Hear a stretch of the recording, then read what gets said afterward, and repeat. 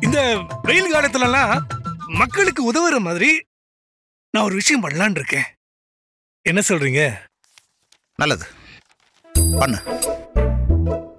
ஒரு நல்ல விஷயம் பண்ணும்போது உங்களோட துணை இல்லாம என்னால செய்ய முடியுமா? சொல்லுங்க. ஜெயலட்சுமி ஆடியோஸ் குடும்பத்தினரின் சார்பாக இந்த தெருமுனையில ஒரு பிள்ளையார் கோயில் இருக்குல்ல அங்க தண்ணீர் மற்றும் நீர்மோர் பந்தல் வைக்கலான்னு ஒரு ஐடியா பண்ணி வச்சிருக்கேன். எல்லாருடைய தாகத்தின் திக்கிற அந்த அரும் பணியில என்ன நான் ஈடுபடுத்திக்கலான்னு இருக்கேன் மாப்பிள்ள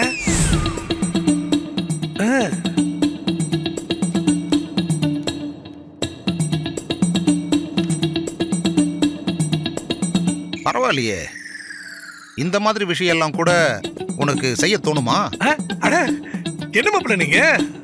மக்கள் பணின்னு வந்துட்டா அதுல முழு மூச்சா இறங்கிடுவா இந்த மூர்த்தி.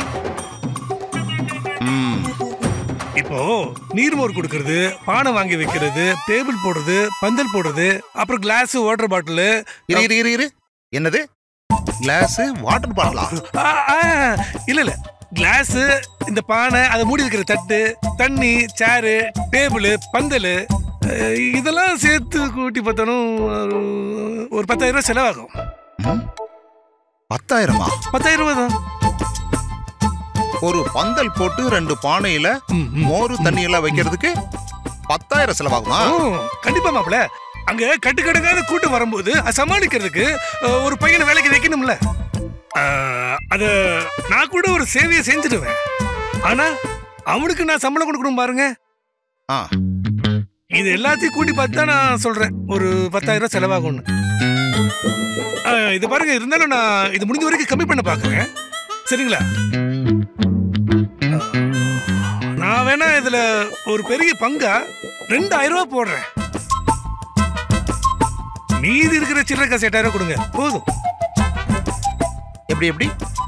பெரிய தொகை ரெண்டாயிரம் ரூபாயை நீங்க போடுவீங்க. பாக்கி இருக்கிற சில்லற காசு வெறும் எட்டாயிரம் ரூபாய் நான் போடணும். ஆமா மாப்பிள்ள.